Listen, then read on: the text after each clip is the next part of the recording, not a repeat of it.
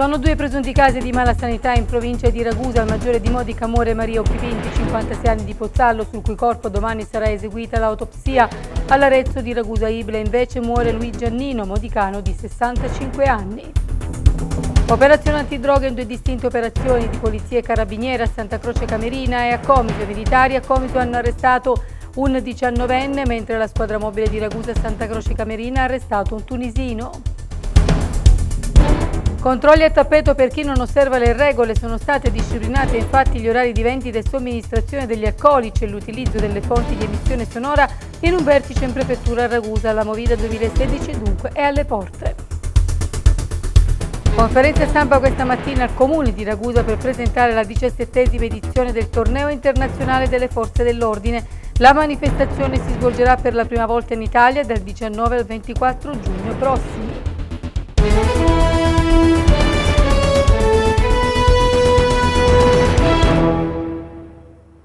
Buonasera e bentrovati ad un nuovo appuntamento con l'informazione su Video Mediterraneo. Purtroppo in apertura parliamo ancora di presunti casi di mala sanità in eh, provincia di Ragusa. Una donna instancabile e piena di vita, così la ricorda la titolare della sala trattenimenti che, dove lavorava Maria Occhi Pinti, la 56enne pozzallese, deceduta ieri intorno alle 14 sull'ambulanza mentre stava per essere trasportata in ospedale. Domani sarà conferito l'incarico al medico legale per l'autopsia, mentre un altro caso di presunta malasanità si è registrato all'ospedale Maria Paternò Arezzo di Ragusa Ibla. Tutti i dettagli da Viviana Sammitu. Maria, sei stata una colonna portante per la tua e per la nostra famiglia e hai lasciato una grande eredità, un lavoro fatto di dedizione ai clienti e impegno per i tuoi figli. Così la ricordano i titolari della storica sala trattenimento a Marina di Modica, Oasi dei Re, dove ha lavorato per 17 anni Maria Occhipinti. La donna morta ieri intorno alle 14 mentre con l'ambulanza stava per essere trasportata all'ospedale maggiore di Modica, da dove la sera prima era stata dimessa. Secondo i medici era una colica renale. Solo analisi, poi è tornata a casa per arrivare morta non so come il giorno dopo. Non sarà semplice rassegnarsi ad una così grande perdita, scrivono ancora, ma possiamo solo pregare affinché gli uomini ti diano giustizia e diano pace. Un abbraccio fortissimo e carico di amore va alla tua famiglia, per la quale non ti sei mai risparmiata ti saremo sempre grati e ti ringraziamo per le innumerevoli ore di lavoro che accanto alla nostra famiglia e al nostro staff hai dedicato ad un'azienda che certamente ormai aveva anche il tuo sguardo gentile ma determinato, la tua energia e la tua amorevolezza. Com'è morta Maria? Lei che aveva lavorato fino a domenica sera ed era in buono stato di salute. Solo lo scorso anno aveva subito un intervento per calcoli alla quale cisti i medici del PTA di Pozzallo, dove la donna era andata lunedì sera, le avevano consigliato di farsi visitare al pronto soccorso dall'ospedale maggiore di Modica, dove è stata dimessa dopo alcune analisi intorno alla mezzanotte di lunedì. Mariocchi Pinti aveva capito che le sue condizioni si stavano aggravando e aveva chiamato l'ambulanza, ma l'ospedale è arrivata a cadavere. E ancora ci si chiede perché i medici non hanno sottoposto la signora a una radiografia un attacco all'addome, considerati dolori lancinanti. Lei non è arrivata viva in ospedale, invece il modicano Roberto Canata qualche mese fa non era arrivato vivo neanche in sala operatoria, era già troppo tardi. Però era stato dimesso in due giorni tre volte. Poi i medici si erano accorti che era necessario fare un attacco con la quale avevano visto l'occlusione intestinale. Prima, secondo i medici, Roberto Cannata aveva un virus intestinale. Un altro e terzo presunto caso di malasanità si è registrato invece mercoledì scorso. Luigi Giannino, 65 anni, doveva sottoporsi a un controllo al cuore. Da reparto di cardiologia di Modica è stato trasferito a Ragusa, al Maria Paterno Arezzo, dove però non hanno ritenuto fare l'esame. Il signore Annino, dimesso, è morto giovedì alle 8. Il 118 è arrivato a casa con il medico che ha constatato il decesso. La famiglia aveva chiamato l'agenzia di onoranze funebri pronta per le esequie già sabato mattina, ma venerdì pomeriggio la salma è stata sottoposta a sequestro dall'autorità giudiziaria. Il corpo deve essere sottoposto anche all'autopsia. Nel frattempo la famiglia ha deciso di far affiggere il necrologio con la scritta La famiglia Nino comunica che per motivi fuori della loro volontà i funerali del loro caro congiunto verranno celebrati a data da destinarsi. Annino e la moglie si erano trasferiti a Modica, città natale della coniuge, dopo aver vissuto a Cologno Monzese. C'è ancora la cronaca, due arresti per droga in due giorni, in due operazioni distinte di polizia e carabinieri. In manette un tunisino a Santa Croce Camerina e un comisano, sorpreso con la droga in casa, sebbene fosse agli arresti domiciliari. Un tunisino di 40 anni, Ahmed Salmane, fingeva di passeggiare con il cane nel centro di Santa Croce Camerina, ma nel frattempo in realtà contattava e veniva contattato dai clienti per la vendita della droga. Del suo atteggiamento sospetto si sono accorti i poliziotti del commissariato di Vittoria e della squadra mobile che, durante un servizio antidroga, hanno effettuato un blitz nella sua abitazione. Il tunisino non ha opposto resistenza e dopo una breve ricerca è stata trovata in diversi punti della casa la sostanza stupefacente, oltre 60 grammi di hashish. Altra droga è stata rinvenuta all'interno di una giacca, nelle tasche dei pantaloni, nel cesto dei pani da lavare e ancora in altri indumenti. Il quarantenne è stato condotto condotto in carcere con l'accusa di detenzione fine dello spaccio di sostanze stupefacenti. In questo caso è stata preziosa la collaborazione dei cittadini. Droga in casa è stata rinvenuta nella disponibilità di un comisano di 19 anni Gianluca Zago che era agli arresti domiciliari dallo scorso 2 giugno, sempre a causa della droga. Nonostante la misura cautelare, il giovane non aveva perso il vizietto. I carabinieri della stazione di Comiso ieri hanno dunque portato in carcere Zago che ha smesso di beneficiare del regime dei domiciliari così come disposto dal GIP del Tribunale di Ragusa Claudio Maggioni. Zago era stato arrestato insieme con un altro giovane e nel corso della perquisizione personale domiciliare era stato trovato in possesso di oltre 40 grammi di marijuana suddivisi in ben 70 dosi e materiale per il confezionamento droga che Zago continuava a possedere a casa sua, sicuramente per spacciarla, anche se ristretto ai domiciliari. Truffa su internet, i carabinieri di Pozzallo hanno arrestato un uomo di 45 anni che aveva intascato circa 300 euro senza consegnare quanto dovuto. Adesso deve stare 10 mesi in carcere aveva messo in vendita su internet i biglietti di un concerto che erano andati a ruba e quindi introvabili. Un uomo di Ancona aveva pensato di fare l'affare e invece ha scoperto di essere stato truffato. Era il 2009. Adesso il responsabile deve scontare una pena di 10 mesi di reclusione in carcere a Ragusa. È un pozzallese di 46 anni, Adriano Scolo, raggiunto oggi da un'ordinanza di custodia cautelare in carcere messa dalla Procura della Repubblica presso il Tribunale di Ancona. L'uomo aveva intascato circa 300 euro per la vendita dei biglietti, ma l'acquirente non li ha mai ricevuti. Pertanto la vittima aveva presentato la querela. Il truffatore è stato condannato, portato in carcere e deve anche ottemperare al pagamento di una multa di 300 euro pari alla truffa consumata. A distanza di sette anni il furbetto del web ha pensato di averla fatta franca, ma la giustizia non si è dimenticato di lui e la procura di Ancona non è stata neanche clemente. Per una truffa di 300 euro è stata imposta la restrizione in carcere, dove è sicuro che non gli verrà messo a disposizione un PC.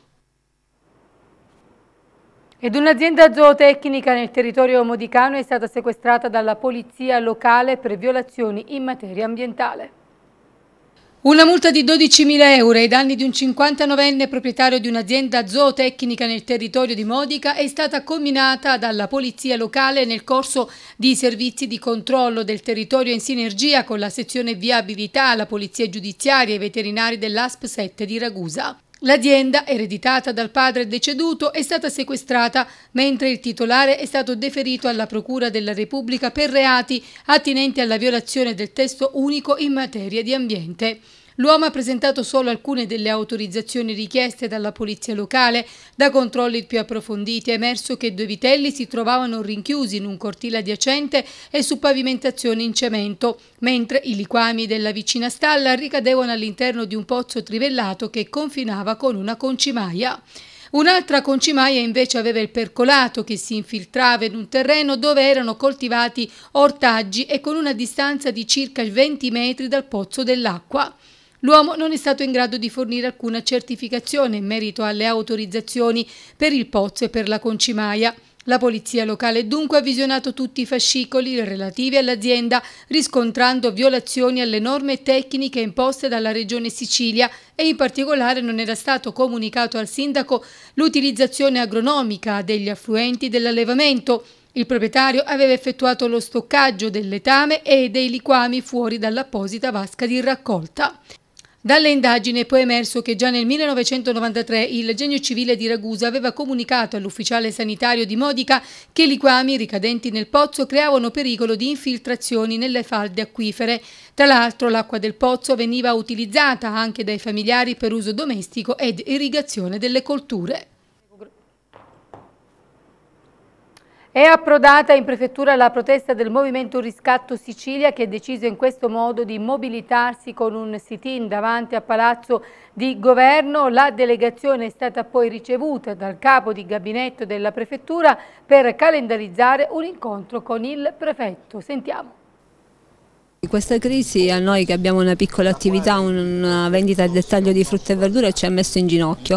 Eh, prima riuscivamo anche a pagare quel piccolo debito che si era fatto per costruire una piccola azienda. Non siamo più riusciti e il nostro bene è stato venduto all'asta. La legge permette che venga acquistato a un prezzo bassissimo e quindi io nella mia situazione di famiglia anche numerosa, avendo cinque figli, mi ritrovo con i debiti e senza casa da qui a poco. Taglieggiati da una crisi lunga e gravissima, molti produttori agricoli perdono tutti i loro beni in aste giudiziarie che sembrano favorire non tanto i creditori, spesso quasi totalmente insoddisfatti dei loro averi, ma mere operazioni di sciacallaggio. Rabbia, angoscia, disperazione hanno animato la protesta promossa dal Movimento Riscatto Sicilia.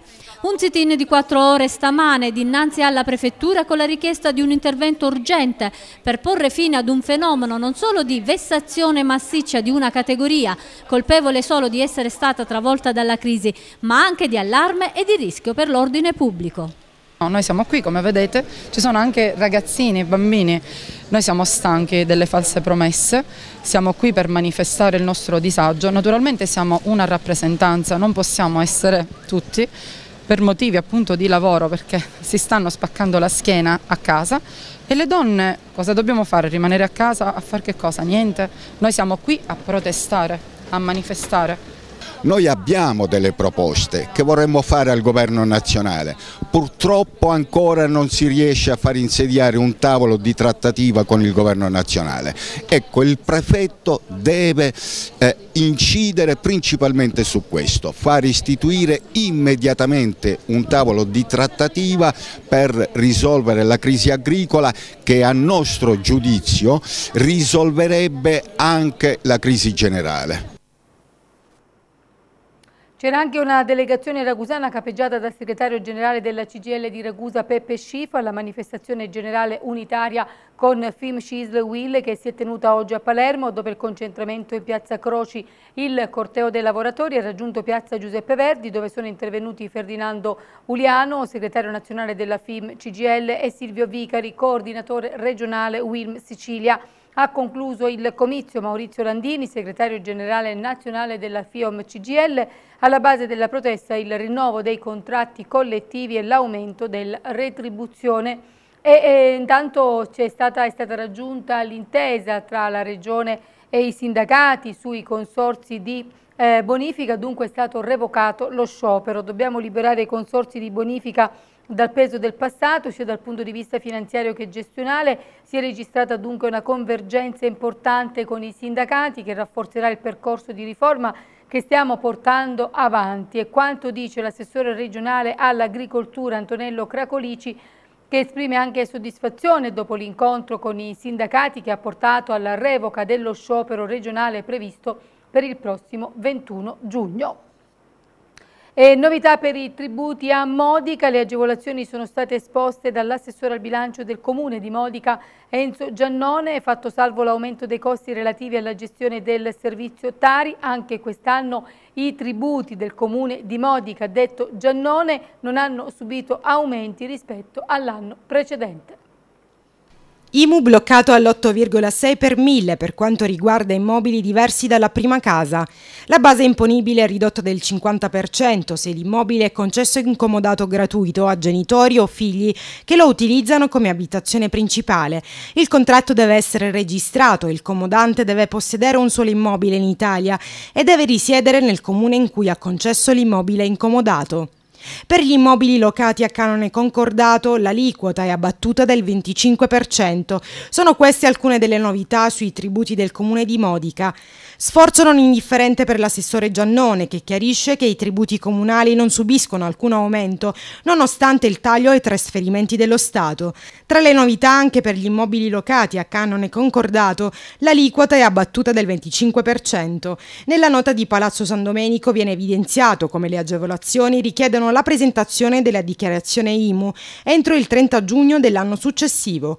Novità anche per i terreni agricoli, per questi è prevista l'esenzione vigente fino a al 31 dicembre 2013. L'agevolazione può essere dunque sfruttata in aree montane o in collina delimitate, esenti i terreni agricoli utilizzati da coltivatori diretti o IAP, per la Tasi l'aliquota rimane all'1,85 per mille, nessuna tassa sarà pagata sugli immobili in cui risiede. Per la tassa dei rifiuti è prevista la possibilità di pagare il 60% della tassa rifiuti e fino a concorrenza di 250 euro per nuclei familiari dove è presente un disabile non autosufficiente.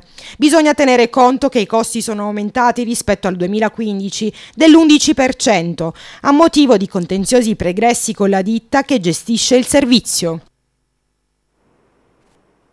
Adesso parliamo del PRG di Ispica, un importante provvedimento è stato portato a termine dal Consiglio Comunale che ne ha annullato la delibera. Annullata la delibera consiliare numero 27 del 28 aprile del 2011 avente ad oggetto la rielaborazione parziale della revisione del piano regolatore generale ad Ispica. A darne notizia è il sindaco Pierenzo Muraglie. Il primo cittadino sottolinea che era un impegno che l'amministrazione comunale aveva assunto con gli ispicesi in campagna elettorale. Il Consiglio Comunale si è determinato ad annullare la delibera consiliare dopo che la stessa è stata impugnata innanzi al TAR Sicilia sezione staccata di Catania, dopo il ricorso straordinario al Presidente della Regione Sicilia e il ricorso per motivi aggiunti al TAR. Un atto di estrema importanza che l'amministrazione comunale dichiara il sindaco Pierenzo Muraglie ha adottato prendendo atto della ordinanza del TAR depositata il 22 di luglio del 2011 e dopo aver acquisito il parere generale pro veritate a firma del professore avvocato Giuseppe Berretta. L'annullamento consentirà, spiega il sindaco Muraglie, di sbloccare altresì la paralisi che affligge il comparto edile perché verranno meno le misure di salvaguardia. Il Consiglio Comunale, continua la nota a firma del sindaco Pierenzo Muraglie, ha fatto chiarezza su un atto di estrema importanza e ha deliberato dimostrando di avere a cuore l'interesse della città e degli spicesi. Soddisfazione è stata espressa anche per l'operato del Consiglio Comunale e nello specifico del suo presidente Roccuzzo da parte del sindaco di Ispica Pierenzo Muraglie. Parliamo di Movida, la disciplina degli orari di vendita e somministrazione degli alcolici e dell'utilizzo delle fonti di emissione sonora negli esercizi pubblici durante l'estate 2016 al centro del vertice di ieri mattina in prefettura a Ragusa. Sentiamo. Le emissioni sonore negli esercizi pubblici la regolamentazione degli orari di vendita e somministrazione delle bevande alcoliche al centro di un vertice ieri mattina in prefettura Ragusa, convocato dal prefetto Maria Carmela Librizzi. Per venire incontro alle esigenze e alla serenità dei residenti nelle frazioni balneari, il prefetto ha invitato le amministrazioni locali ad adottare provvedimenti regolamentari che disciplinano gli orari relativi all'emissione e diffusione sonora negli esercizi pubblici. Saranno anche intensificati i controlli da parte delle forze dell'ordine d'intesa con il personale dell'ARPA, disponendo la pianificazione di servizi congiunti da parte delle forze di polizia e locali del territorio, con lo scopo di far osservare i provvedimenti adottati dalle amministrazioni. Per quanto riguarda poi le diffusioni sonore, non devono essere eccessive nelle ore notturne, evitando deroghe di orari rispetto alla regolamentazione generale prevista per tutti i comuni blei e per tutta la stagione estiva. Eh, da che sono qui ho ricevuto tantissime eh, segnalazioni, tantissime lamentele da parte di cittadini che eh, chiaramente eh, ritengono sia eh, eccessivo ehm, diciamo anche la, la, disponibilità dei vari centri, esercizi commerciali oltre orari consentiti. Quindi si tratta indubbiamente di conciliare quello che è il giusto divertimento estivo, eh, la, la, possibilità chiaramente di usufruire, di godere di quelli quelli che sono spettacoli ed altre, però anche con la, anche la possibilità per chi deve andare a, a lavorare l'indomani di eh, poter riposare tranquillamente. Quindi indubbiamente dobbiamo insistere sugli orari e dobbiamo far sì che quegli orari che sono imposti siano rispettati. Un garage al piano terra di un condominio in Viale Europa Ragusa è stato trasformato in un'abitazione con servizi igienici senza alcuna autorizzazione. Sentiamo. L'apparato di vigilanza sul rispetto delle norme che disciplinano la vita di una comunità spesso non riesce ad essere rapido ed anche la repressione di abusi e violazioni attraverso il ripristino di una situazione conforme ai diritti e ai doveri sanciti dalle norme è talmente lenta da frustrare la domanda di giustizia. Sono i sentimenti avvertiti, secondo la loro denuncia che ci è giunta in redazione, dai condomini di uno stabile in viale Europa Ragusa, allibiti e impotenti dinanzi ai comportamenti e agli abusi di un inquilino, il quale, secondo quanto da loro segnalato al prefetto, al questore, al sindaco e alla polizia municipale, ha adibito arbitrariamente ad abitazione con servizi igienici i suoi locali ubicati a piano terra ed aventi invece destinazione d'uso di cantina e garage. Secondo i condomini non si tratta di un abuso privo di conseguenze per l'intero edificio danneggiato dai lavori di trasformazione del prospetto in cui è stata sostituita la saracinesca da una porta in vetro. Prospetto che peraltro era stato di recente restaurato e ristrutturato con notevole dispendio di costi da parte degli inquilini. L'abuso comprende anche la realizzazione di una tettoia removibile in legno che deturpa gravemente l'aspetto estetico dell'edificio e il suo equilibrio architettonico. Oggi è scaduto il termine entro il quale l'autore di questi abusi avrebbe dovuto rimuoverli e ripristinare la situazione preesistente, ma la diffida della Polizia Urbana di Ragusa non ha avuto esito e da domani dovrebbero scattare le misure repressive. Ma l'aspetto più grave del problema, lamentano i condomini, è non solo la situazione di impotenza, ma anche quella di paura per le possibili ritorsioni ad opera della persona denunciata, il cui comportamento, anche al di là delle stesse responsabilità a lui contestabili, in passato è stata sottoposta a trattamento sanitario obbligatorio, appare incontrollabile e quindi fonte di pericolo. Nessuno vuole inveire, e questo è il sentimento dei condomini, contro una persona al di là della sua cosciente responsabilità, ma le autorità preposte amministrative e giudiziarie dovrebbero essere capaci di non scaricare tensioni, paure e pericoli su una tranquilla comunità di cittadini che rispettano le norme e ne chiedono altrettanto rispetto. Ci fermiamo adesso, c'è la pubblicità tra poco. Bentornati in studio e legge il Dopo di noi. Il provvedimento pone attenzione alle persone diversamente abili che restano senza genitori. Soddisfazione è stata espressa dal mondo politico per un atto che ancora mancava ed era necessario. Il Dopo di noi è legge.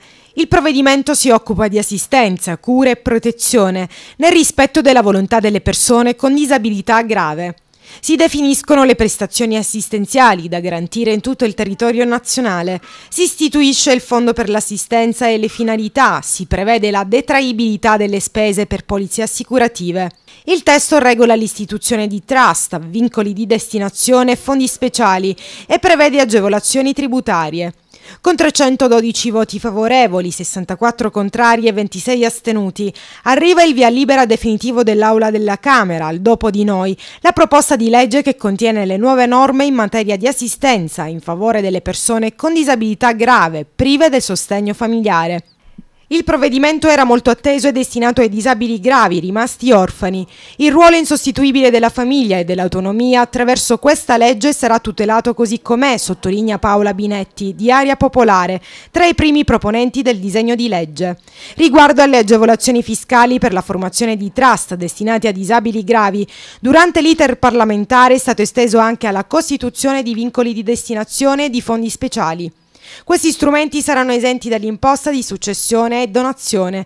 Inoltre è stata stabilita la detraibilità delle spese sostenute per le polizze assicurative per la tutela delle persone con disabilità grave, con l'incremento da 530 a 750 euro della detraibilità dei premi per assicurazione versati per rischi di morte. Sull'argomento il presidente della Commissione Affari Sociali, Mario Marazziti, ha dichiarato che l'estensione delle agevolazioni fiscali, fondi speciali è una soluzione ricostruzione economica, 90 milioni per il 2016, circa 38 milioni per il 2017 e 56 milioni annui a partire dal 2018. Questa una legge, mette al centro le persone con disabilità grave risponde così ai bisogni e alle preoccupazioni di tante famiglie italiane. Segna una svolta culturale nel nostro paese, conclude Marazziti. Presentata questa mattina al Comune di Ragusa la diciassettesima edizione del torneo internazionale delle forze dell'ordine che si svolgerà per la prima volta in Italia dal 19 al 24 giugno prossimi. Vediamo. 16 nazioni europee invieranno i propri atleti, componenti le forze dell'ordine, per partecipare alla diciassettesima edizione dell'International Football che si svolgerà per la prima volta in Italia dal 19 al 24 giugno prossimi. Il programma è stato presentato stamane nel corso di un incontro con i giornalisti che si è svolto al comune di Ragusa. La città capoluogo dunque ospiterà l'importante competizione che vedrà circa 800 tra atleti e accompagnatori provenire da Austria, Belgio, Canada, Finlandia, Francia, Germania, Gran Bretagna, Italia, Lettonia, Lituania, Norvegia, Olanda, Portogallo, Romania, Svizzera e Ungheria. L'Europa dello sport si ritrova dunque nel sud-est siciliano per una competizione sportiva interamente dedicata al calcio a sette, ad affrontarsi squadre maschili, femminili e miste.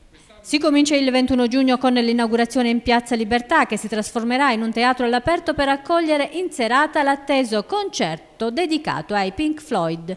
La festa inizierà già la mattina con le attività di fitness. Poi dalle 19.30 alle 21.30 spazio al flamenco, la danza del ventre e l'esibizione canora del coro Marielle Ventre di Ragusa. Giorno 22 l'esibizione della fanfara dei bersaglieri e degli sbandieratori di Noto e di Floridia, che accompagneranno la sfilata delle nazioni partecipanti all'International Football lungo le vie del centro storico. Le giornate clou saranno essenzialmente due che vedono anche un coinvolgimento della città di Ragusa il 21 e il 22 giugno con due grandi manifestazioni che si svolgeranno a Piazza Libertà, poi invece nelle restanti giornate ci sarà il tradizionale torneo che si svolgerà all'hotel eh, Atena e quindi ecco là ci saranno questi momenti poi di svago e di confronto ribadisco tra le diverse forze di polizia. Non ci sono aggiornamenti, termina qui questa edizione di MTG, grazie come sempre per averci seguito, vi auguro una buona serata, arrivederci a domani.